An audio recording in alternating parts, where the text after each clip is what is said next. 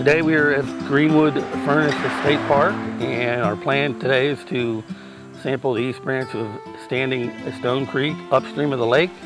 Um, the purpose of our sampling today is to reevaluate the wild trout population to make sure they're providing the kind of angling that we expect them to do and the anglers expect them to. I'll have a crew of uh, two others besides myself. They're going to actually be doing the process of sampling. We use electrofishing. We're going to shock what is about 360 meters, which is about uh, 360 yards of stream. And it uh, temporarily stuns the fish long enough for us to capture them.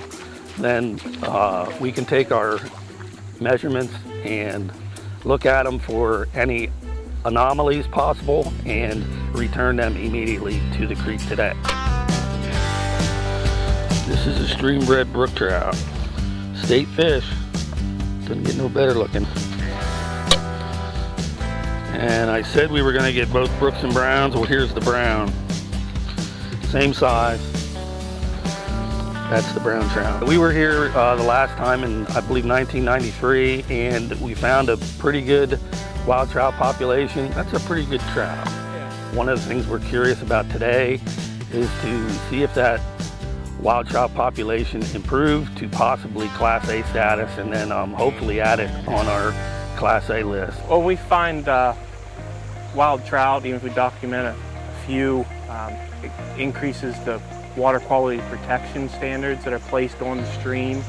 Uh, so that's a, a, big environmental conservation purpose for what we do. Might be another one down deep. It's always uh, neat to see what we come across in different waters. That is a white sucker. Creek chubs and long-nosed dace, black-nosed dace species uh, are co very common. These are uh, slimy sculpins. And if you've ever fly fish and if you've ever heard of the fly muddler minnow, that's the animal that that's trying to imitate. Yeah, whenever we come up on a nice pool in a stream like this where it has some depth, larger boulders, undercut banks, woody debris, typically hold a lot of fish. There, did that surprise you?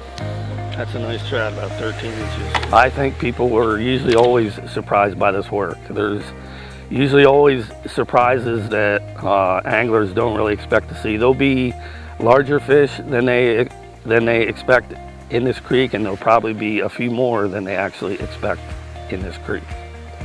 Things are at least as good as as they were in 1993, if not even better. The uh, actual management reports would be available uh, as early as this winter. Uh, our job is to uh, create angling opportunities and to protect those areas where angling opportunities are occurring.